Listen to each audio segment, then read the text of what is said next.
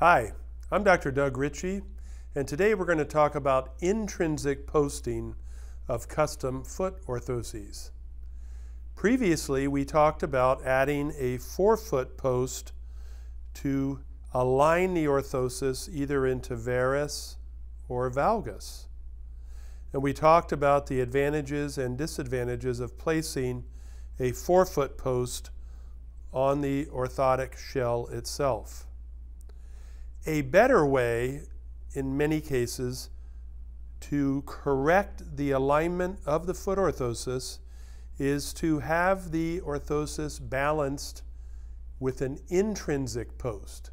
Now, the concept of adding an intrinsic post or balancing a foot orthosis intrinsically is a somewhat complicated topic. And I'm going to take a few minutes to try to explain this to you in a simple manner.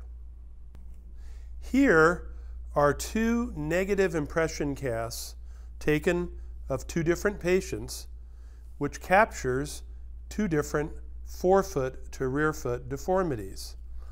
This cast captures a forefoot varus deformity, where with the heel in a neutral position, the forefoot is inverted to the supportive surface. And when I let go, the cast drops into eversion.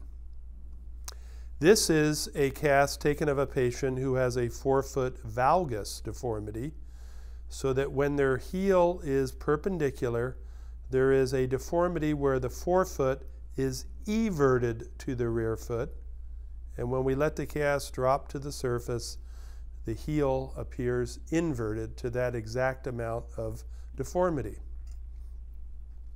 So the lab can actually correct this deformity and balance the cast and the foot orthotic so that the heel is now perpendicular to the supportive surface. And this is done in the following sequence. In the lab, the technician will apply a wedge, in this case medially under the forefoot, until the cast reaches a more perpendicular position at the rear foot to the supportive surface. And then the lab will fill this negative cast with plaster and they will produce a positive cast. Now the positive cast has to be balanced or corrected so that it sits perpendicular to the supportive surface. The lab will add a forefoot platform across the weight-bearing surface of the forefoot such that this platform will orient the rear foot either in a perpendicular attitude or in this particular case, this is a Blake modification where the practitioner actually wants the cast to end up being inverted, which is an extra correction to control pronation. But it's all accomplished by this platform which balances this cast either perpendicular or to the degree the practitioner designates on the prescription form. In the end, when the orthosis is pressed on this corrected cast,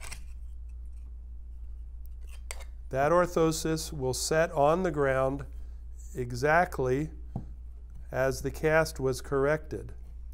And this orthosis is now balanced with really an intrinsic post.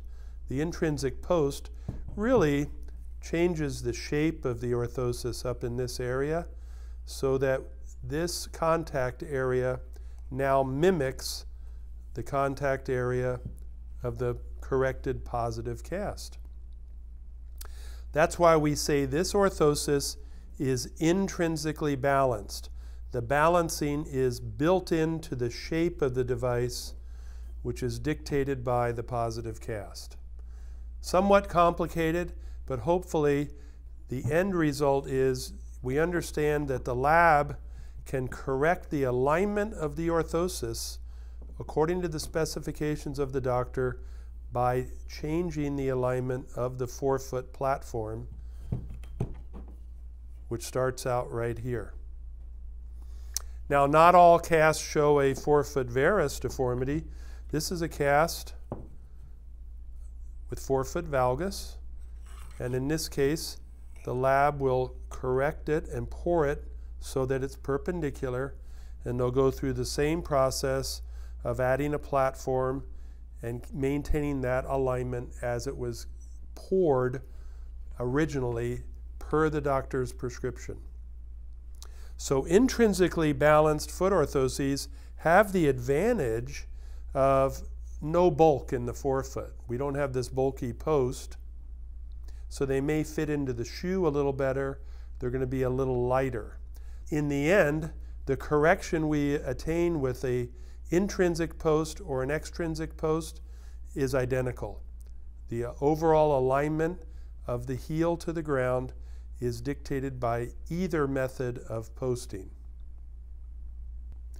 What's exciting about this whole process with correction of the positive cast, the balancing platform, and ultimately correcting the alignment of the orthosis can all be accomplished with the new process of digital casting and digital correction of the cast for fabrication of the orthosis.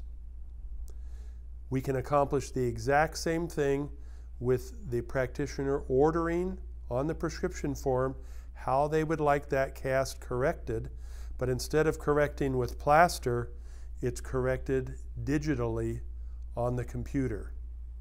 Quite exciting, quite phenomenal that that can be done now with a lot more ease for the practitioner who takes a digital cast in the office and sends that image to the lab and they get started with that correction the same day. So keep that in mind. If you're not using digital technology for your orthosis fabrication, it's time to look into it because it offers a lot of advantages.